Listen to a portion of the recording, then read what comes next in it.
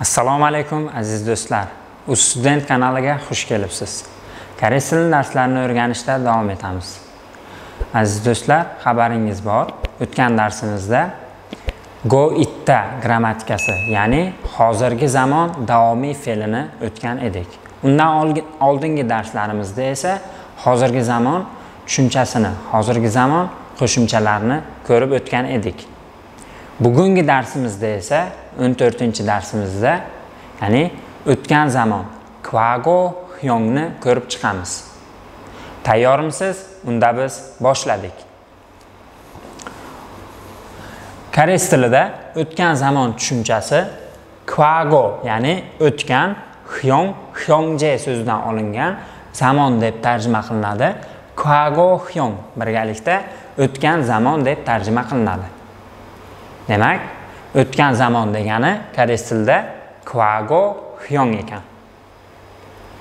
Endi koreys tilida fe'l plyus at ot het qo'shimchalarini qo'shish orqali takrorlayman.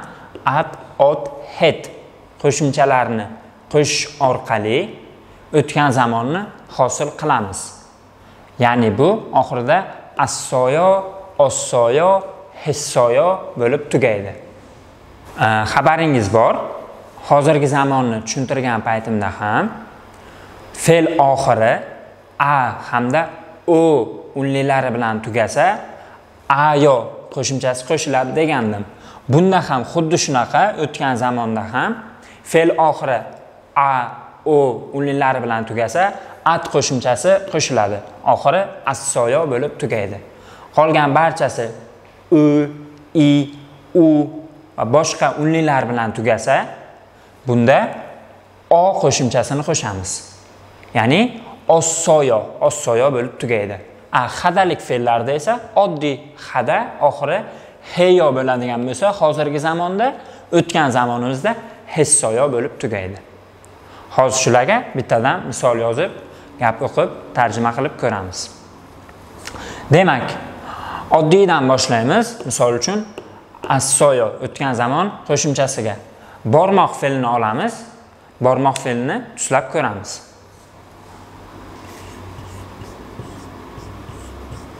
Kada. Kada. Demak bormoq degani. Bunga qo'shamiz. Assoyoni assoyoni qo'shgan paytimizda dala qisqarib ketadi. Buni yaxshi bilasiz. Dala qisqargandan keyin bu yoqdan ham bitta dumaloq bilan a qisqarib ketadi. Bu yoqdagi kani o'zi qoladi. Bu yoqdagi soyo ya'ni qo'shilib birgalikda kassoyoni hosil qiladi.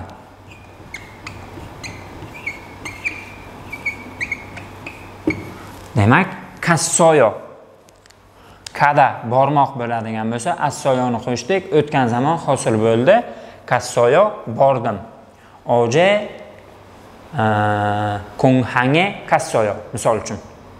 Kecha aeroportga bordim. Oje shijange kassoyo kecha bozorga bordim. Ho'p yoki bunga e, ahamiyat beringlar. Patchim bor patchimsiz ya'ni oxiri unli tovush bilan tugaydimi undosh tovush bilan tugaydimi unga ahamiyat bermaymiz. Bir xil qo'shiladi qo'shimcha. Masalan e, yoki ho'p endi patchimlikka yozib ko'ramiz. Mokta fe'lini olamiz misol uchun. Mokta fe'li yemoq. Mokta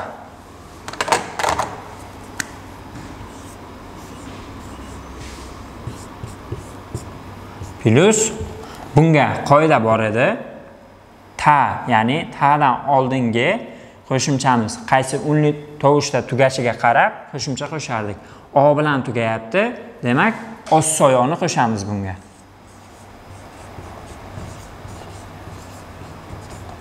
Ossoyo bu keyin tuslangan paytda talarimiz qisqarib ketadi. Mo'kta plyus mogossoyo k harfimiz g ga aylanadi. Buni bilasizlar. Mogossoyo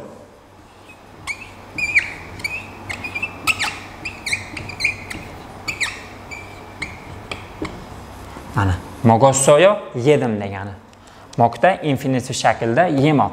Mana oddiy tuslanishi qiyin emas. Hech qanaqa qiyin joyi yo'q. Qaraymiz qoidani bilsak bo'ldi qoidani yodlagan bo'lsak bo'ldi. Asosiysi o bilan tugayapti. Shu uchun biza ossoyoni qo'shamiz. A bilan tugayapti assoyoni qo'shamiz. Endi uchinchi shakl hadalik fe'l bilan. Kongbu hada. Kongbu hada fe'lini olamiz.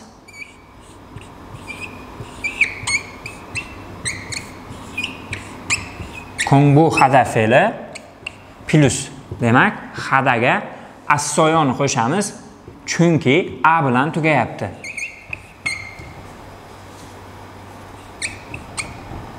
Assoyoni qo'shamiz.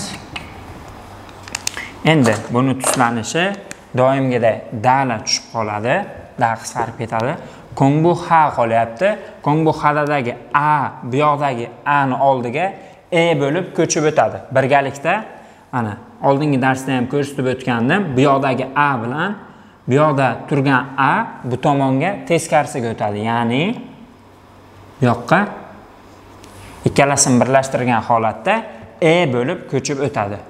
Kongbu hessoyo o'qidim o'rgandim ma'nosida kongbu hessoyo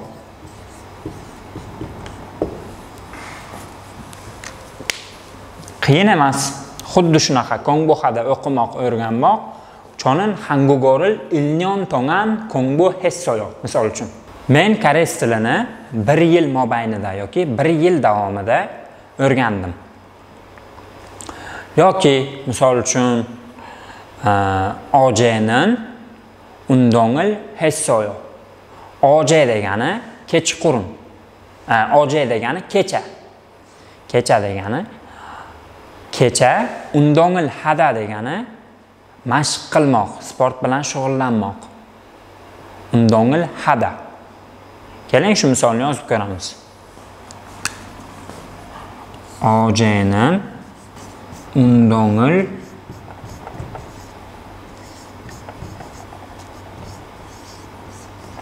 했어요.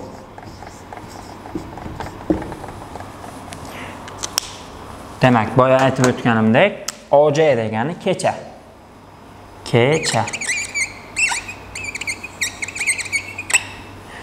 Hojinim undongil hisso undong hada sport bilan shug'ullanmoq mashq qilmoq. Ya'ni ertalabki badan tarbiya fiziologika e, tanani chiniqtirish mashqlarini qilmoq. Shunaqa ma'noda keladi. Undongil hisso bo'ldi shu asosiysi o'tgan zamonda o'rganadiganlarimiz shulardan iborat edi. Bu qiyin emas. O'tgan zamonni tuslash at ot het ya'ni o'sha qoida asosida qaraymiz. Infinitiv shaklidan dani tushirib qoldiramiz. Qaysi unlida tugayapti qaysi unli tovushda tugayapti shunga qarab qo'shimchalarni qo'shamiz.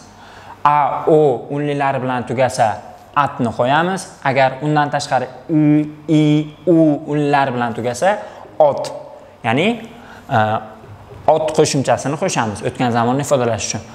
Hadalik fe'llar bo'lsa hessoyo ya'ni hadaga hetni qo'shamiz ho'p endi man sizlarga hozir fe'l beraman keyingi darsgacha ushlab kelish vazifa bo'ladi mavzuni yaxshilab o'zlashtirib tushunib olgandan keyin kommentariyalarda javoblaringizni qoldirsalaringiz bo'ladi Xo'p, mana demak so'zlarni yozib chiqdim.